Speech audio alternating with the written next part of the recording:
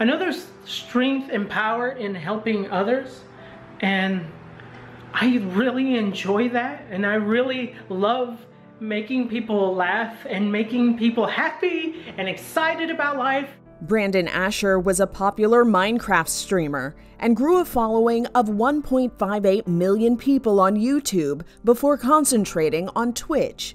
The streamer, better known as Bashurverse or Toasty, died of COVID complications this week and used his last few tweets to tell followers how awful the disease can be.